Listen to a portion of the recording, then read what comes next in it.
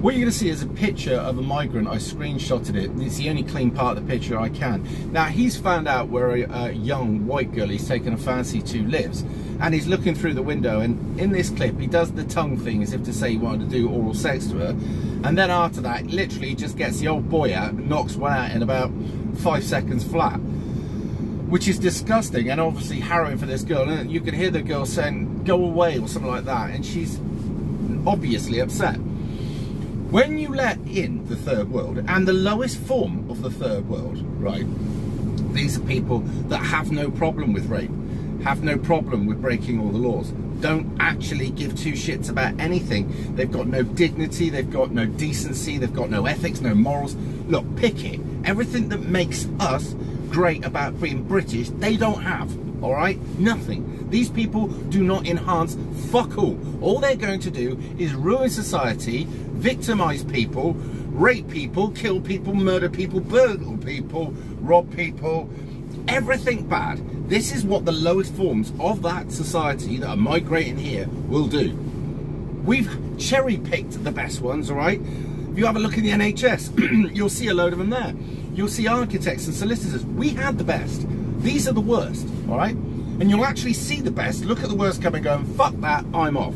In the meanwhile, old Brit's got to stay there while his kids get fucking victimised, raped, beaten, stabbed, robbed off. Just pick your crime. Now what we're going to end up with is civil war. I've talked about this endlessly, but this is the way it's heading and it's unstoppable now. And nobody wants it, by the way.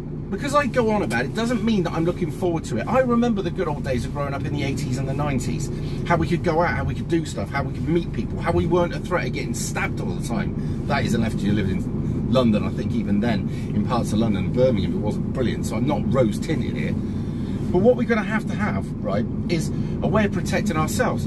Now, when you look at the way society goes into civil war, it's a slow process in many cases. And you can take, say, for instance, how paramilitary organisations come out.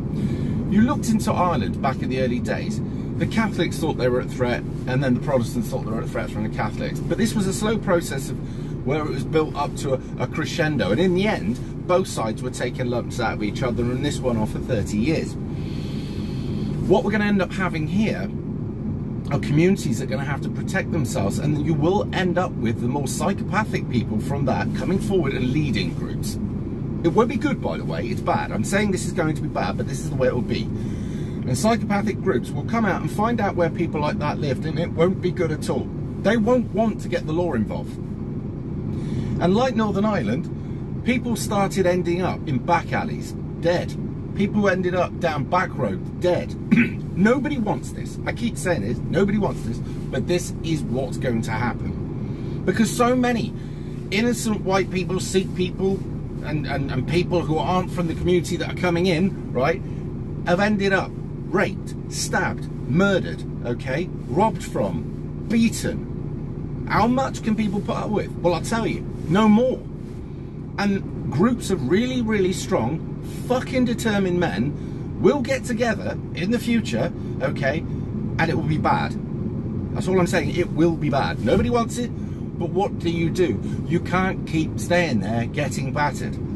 So I'm saying to the government now, you are going to be on these bad people's lists. Believe it or not. Look at Ireland. Look what happened. Look what they did to politicians they thought were going against them. This is what's going to happen.